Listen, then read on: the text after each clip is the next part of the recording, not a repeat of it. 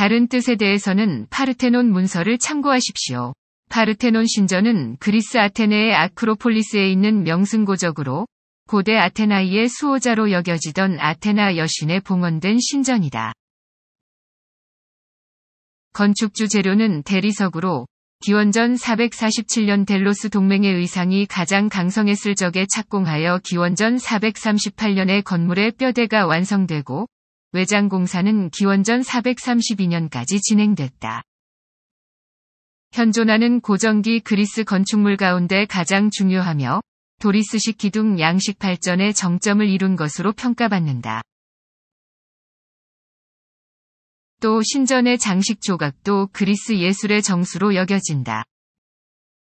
파르테논 신전은 고대 그리스와 아테네의 민주정, 나아가 유럽 문화권의 오랜 상징이자 세계적으로 위대한 기념물로 인정받는다. 현재는 그리스 문화부에서 복원 및 개축 계획을 시행하고 있다. 파르테논을 비롯한 아테네 아크로폴리스에 딸린 여타 기념물은 페리클레스 시대의 페르시아의 외침을 막아내고 신께 승리를 고하는 의미로 지었던 것으로 보인다.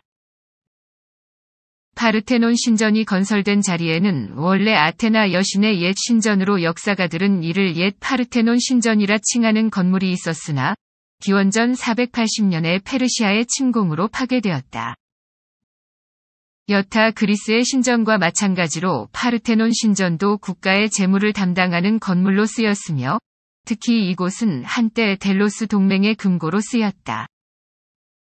기원 후 6세기의 파르테논 신전은 성모 마리아에 봉헌된 기독교 교회로 쓰였다. 아테네가 오스만 제국에 정복당한 뒤에 1460년대 초에 그 성격이 모스크로 변하였고 첨탑이 건설되었다.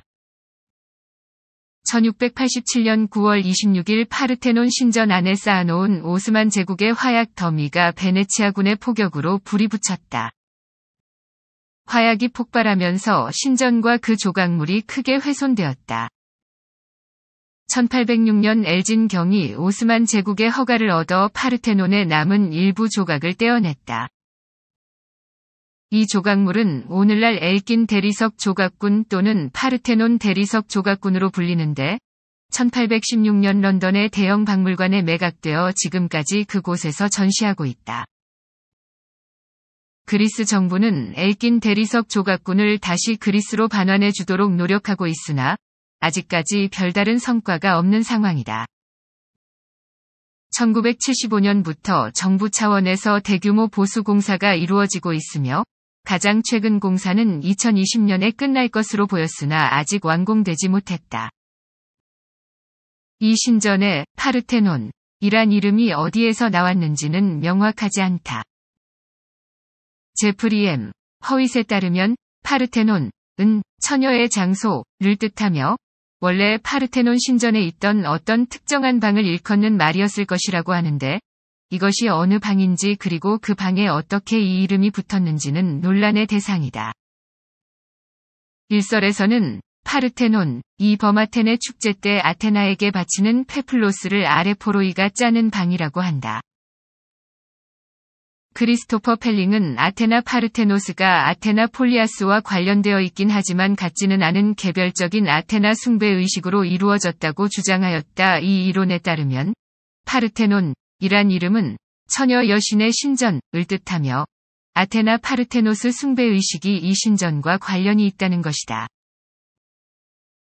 역시 그 기원이 불명확한 파르테노스 란 별칭은 처녀, 결혼하지 않은 여자, 를 뜻하며 특히 야생동물과 사냥, 식물의 여신인 아르테미스, 전쟁, 수공예 그리고 실용적인 것의 여신인 아테나를 이를 때 쓰는 말이다. 또 이 신전의 이름은 처녀들을 암시하는데 처녀들의 최고의 희생의식은 도시의 안전을 보장하였다. 파르테논, 이란 이름이 신전 건축물군 전체를 분명히 일컫는 첫사례는 기원전 4세기의 웅변가 데모스테네스의 말에서 나온다. 5세기의 건축 기록에서 이 건축물은 그저 호나우스으로 불렀다. 건축가 무네시클레스와 칼리크라테스는 현존하지는 않지만 아테나의 건축에 대해 이들이 쓴 기록에서 이 건물을 헤카톤페도스, 라고 불렀다고 하며 4세기와 나중에도 파르테논 이란 이름뿐 아니라 헤카톤페도스 또는 헤카톤페돈으로 불렸으며 기원 후 1세기의 저자 플루타르코스는 이 건물을 헤카톤페돈 파르테논이라고 칭하였다. 그리스 신화의 여신인 아테나에게 헌정된 신전이기 때문에 파르테논 신전은 종종 아테나의 로마식 이름 미네르바의 신전이라고도 불렸다. 특히 19세기 서양에서 파르테논을 미네르바의 신전이라고 일컫는 경향이 가장 컸던 것으로 보인다. 파르테논 신전의 바닥 평면도 마라톤 전투 직후 지금의 자리에 아테나 파르테노스에 바치는 성소를 짓고자 처음으로 시도하여 튼튼한 석회암 기반을 깔고 아크로폴리스 꼭대기의 남쪽 부분을 평평하게 골라 넓혔다. 이 건물은 헤카톤페돈으로 대체되었으며 아테나 폴리아스에 봉헌된 옛날 신전 옆에 서 있었을 것이다. 옛 파르테논 신전은 페르시아군이 기원전 480년에 아테나이를 약탈하고 아크로폴리스를 파괴할 때에도 아직 건설 중이었다. 기원전 5세기 중반, 아테나이의 아크로폴리스가 델로스 동맹의 중심지가 되고 아테나이가 당대 문화 중심지가 되면서 페리클레스는 야심찬 건설 계획을 세워 5세기 후반기까지 이어졌다. 오늘날 아크로폴리스에서 보이는 가장 유명한 건축물인 파르테논 신전, 프로필라이아, 에렉테이온, 아테나 니케 신전은 이 시기에 세운 것이다. 파르테논 신전의 건축은 조각가 페이디아스가 총감독을 맡았으며 조각 장식도 그가 맡았다. 건축가인 익티노스와 칼리크라테스는 기원전 447년에 작업에 착수하여 건물은 432년에 사실상 완공되었으나 장식 작업은 431년까지 이어졌다. 파르테논에 관한 일부 재정 기록이 남아있어 아테나이에서 16km 떨어진 펜테리코스 산에서 캐온 대리석을 아크로폴리스로 운반하는데 단일 항목으로 가장 많은 비용이 들었음을 보여준다. 건축 자금의 일부는 델로스 동맹의 금고에서 끌어다 썼는데 이곳 금고는 기원전 454년에 델로스 섬의 범그리스 성소에서 아크로폴리스로 옮긴 바 있었다. 근처의 헤파이스토스 신전은 도리스식 기둥 양식을 써서 가장 완벽하게 보존된 건축물이지만 당대에는 파르테논 신전이 가장 훌륭한 것으로 여겨졌다. 존 줄리어스 쿠퍼는 파르테논 신전에 대해 지금까지 가장 완벽한 도리스식 신전이란 평가를 받고 있으며 고대에도 파르테논의 건축미는 전설적이었는데 stylobate와 나오스, 나오스, 성상 안치소, 벽과 기둥의 엔타시스의 미묘한 조화가 특히 그러하였다. 엔타시스란 기둥의 중심부로 갈수록 약간 굵어지는 배흘림 기둥을 말하는데 궐련 모양으로 유명한 이전의 신전보다 파르테논의 엔타시스가 시각적으로 훨씬 미묘한 효과를 낸다. stylobate는 기둥이 서는 토대를 일컫는다. 여러 다른 그리스 고전기 신전처럼 파르테논의 stylobate도 위쪽으로 포물선 모양으로 약간 휘어져서 빗물이 밖으로 흐르도록 처리하였다. 토대가 휘어져 있으므로 기둥은 바깥 방향으로 기울게 되는데 실제로 기둥은 안쪽으로 약간 기울어 있으며 기둥의 높이는 모두 같으므로 위쪽의 처마돌이와 지붕 위도 휘어진다. 거엠 스티븐스는 미묘하게 휘어지도록 설계한 규칙이 모든 데 적용된다. 라고 지적하면서 더 나아가 서쪽 면이 동쪽 면보다 약간 지반이 높다는 점도 알아냈다. 이러한 시각적 정교함, 이 위도된 효과였는지에 대해서는 논란의 여지가 있으며 종종 그러한 설계가 만곡이 없을 경우 건축물의 경우 건물이 둔중하게 보이는 것을 보완하기 위한 것이라고 주장하기도 하는데 개념상 직선적인 신전보다는 파르테논보다 훨씬 더욱 휘어진 구조의 이전 건축물과 비교가 필요하다. 파르테논을 비롯한 이곳 아크로폴리스에 대한 일부 연구에서 건축물의 비율 상당 부분이 황금비에 근접한다고 결론을 내렸다. 파르테논의 정면부와 정면부의 여러 건축 요소나 다른 곳도 황금 사각형의 모양으로 볼 수 있다. 황금비가 건축 설계에 쓰였다는 주장은 최근 연구에서 논란이 되고 있다. 맨 위쪽 단에서 측정했을 때 파르테논의 기단 면적은 69.5m 곱하기 30.9m 위 사각형이다. 구조상 지붕을 받치기 위해 필요한 두 줄로 된 내부 주랑을 비롯하여 성소 안치실은 길이는 29.8m이고 폭은 19.2m이다. 바깥의 도리스식 열주는 직경이 1.9m이고 높이는 10.4m이다. 각 모퉁이의 기둥은 직경이 약간 더 크다. 파르테논 신전은 외부에 46개의 기둥이 있고 안에는 23개의 기둥이 있다. 스타일로베이트는 가운데 부분으로 갈수록 높아져 가운데 부분은 동쪽과 서쪽 끝 부분보다 60mm 높아지며 측면보다 110mm 높다. 지붕은 인브렉스와 테굴라라는 큰 대리석 기와로 덮여 있었다. 아크로폴리스 언덕 중앙에 자리 잡은 파르테논 석이 3세기 중반 직후 파르테논에 큰 화재가 발생하여 지붕과 성소 내부의 상당 부분이 소실되었다. 276년에 헤룰리 해적이 아테네를 약탈하는 와중에 대부분의 공공 건물이 파괴되었는데 그 중에는 파르테논도 있었다. 배교자 율리아누스 황제의 치세인 4세기에 복구 작업이 이루어졌다. 성소 위로 목재 지붕을 치고 점토 기와를 덮었는데 원래 지붕보다 훨씬 경사가 급했으며 건물 주변이 노출되었다.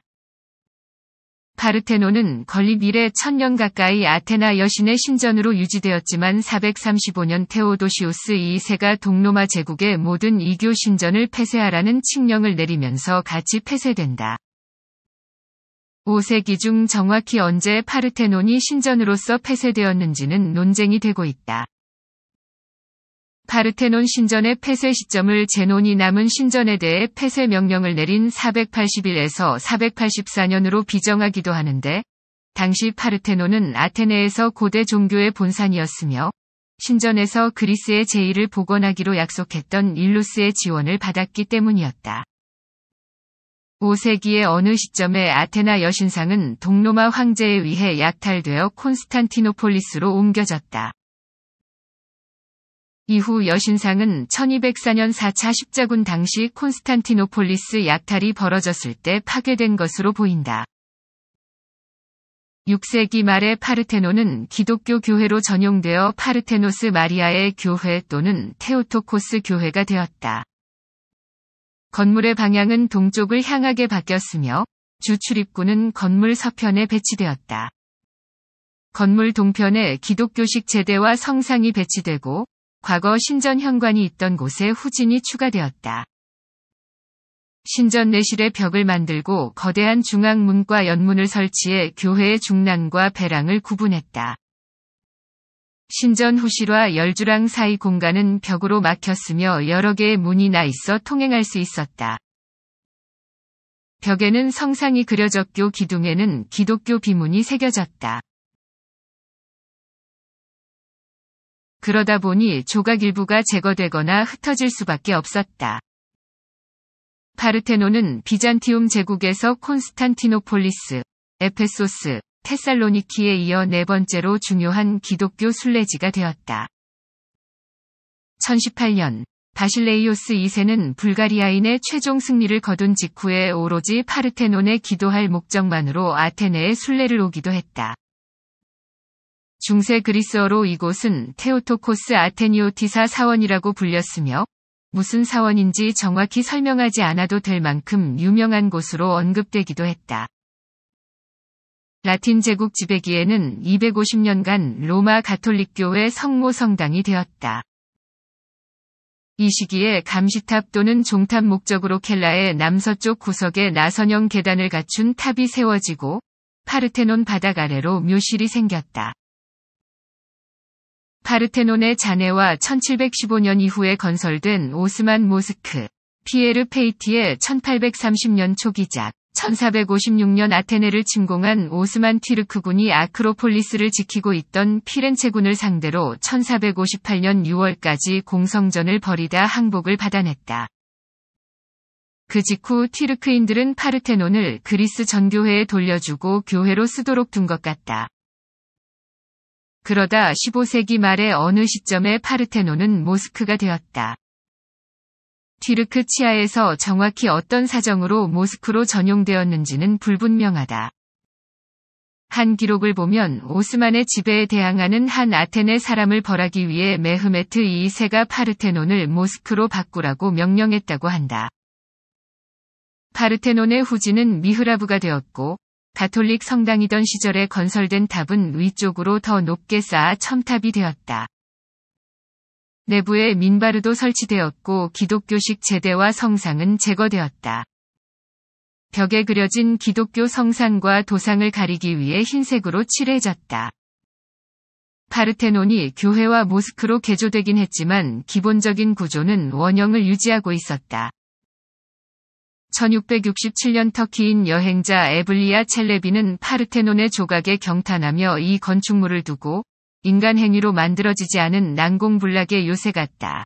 라고 묘사하기도 했다.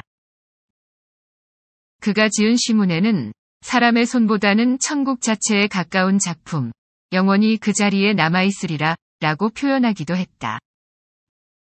프랑스 예술가 자크 카리는 1674년에 아크로폴리스를 방문하고 파르테논의 조각 장식을 스케치했다. 1687년 초 플랑티에라는 기술자는 프랑스인 그라비에 도르티에르를 위해 파르테논의 스케치를 그렸다. 카리의 그림을 비롯해 이러한 스케치 기록은 1687년 말 건축물이 심하게 훼손되기 전 파르테논과 여러 조각상의 상태를 알려주는 중요하고도 거의 유일한 증거가 된다. 파르테논의 벽 위에서 발견된 포탄 조각, 베네치아군의 공성전 때 생긴 것으로 보인다. 1687년, 오랜 역사를 견뎌왔던 파르테논은 가장 심각한 파괴를 겪는다. 모레아 전쟁 당시 베네치아는 프란체스코 모로시니 장군의 원정대를 보내 아테네를 침공하고 아크로폴리스를 포위했다.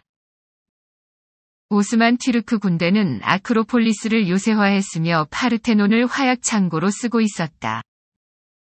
1656년에 이미 폭발 사고로 당시 튀르크인 주민들의 거처로 쓰이던 프로필라이아가 심하게 훼손된 바 있어 위험이 예견되었던 터였다. 파르테논 남쪽 면 1687년 폭격으로 심각하게 파괴된 상태이다. 9월 26일 베네치아군이 필로파포스 언덕에서 쏜 대포가 화약 창고에 맞아 폭발하면서 건축물이 반파되었다. 폭발로 파르테논의 중간 부분이 파괴되고 켈라의 벽도 산산이 부서졌다. 그리스의 건축가이자 고고학자인 코르닐리아 하치아슬라니는 성전의 내벽 중 세 부분이 거의 붕괴되고 프리즈의 조각상 중 5분의 3가 무너졌다. 지붕은 겉으로 봐서는 아무것도 남아있지 않았다. 남쪽 면의 6기둥과 북쪽 면의 8기둥이 무너졌고 동쪽 현관에는 기둥이 하나만 남았다.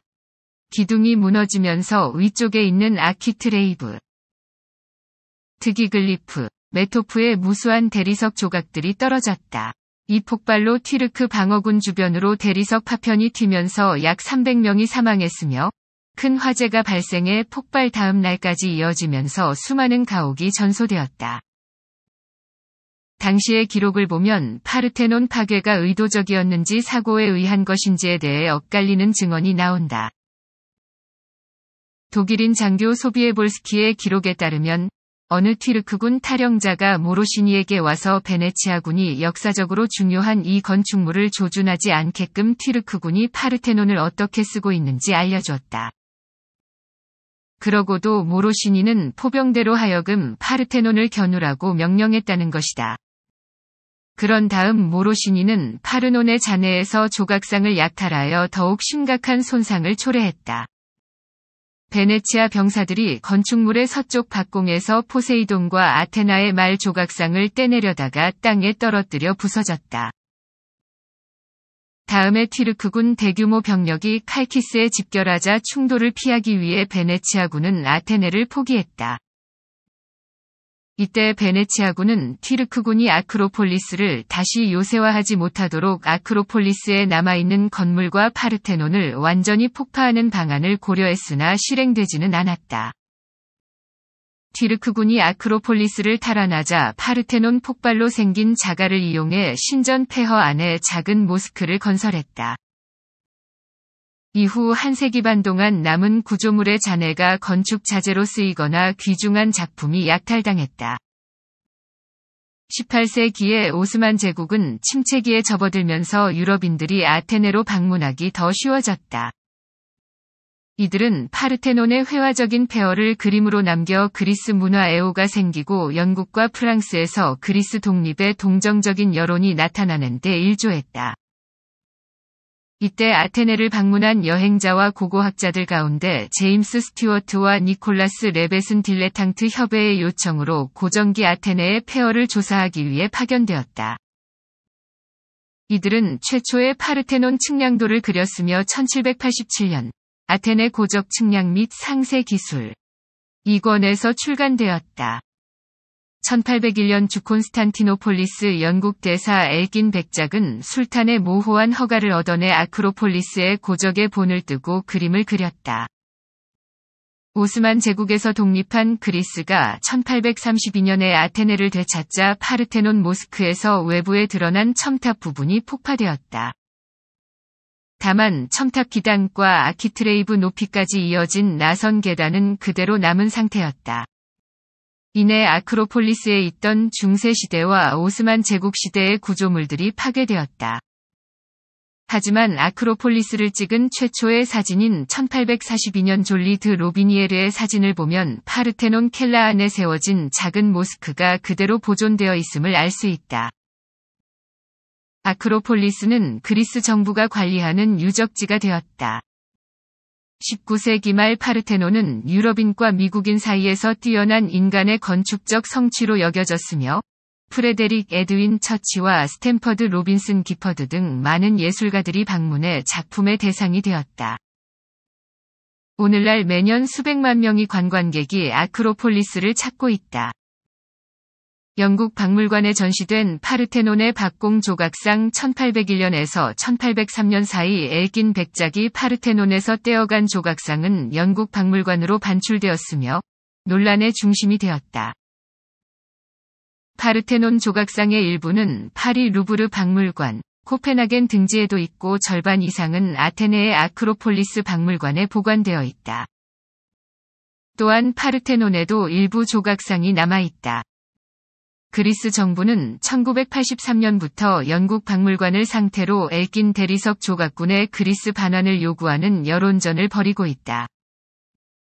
영국 박물관은 조각상 반환에 완강히 거부하고 있으며 영국 정부 역시 입법을 통해 박물관의 유물 반환을 강제하는 데 소극적인 입장이다. 2007년 5월 4일 런던에서 그리스와 영국 문화부 선임 대표 및 법률 자문관의 회담이 있었다.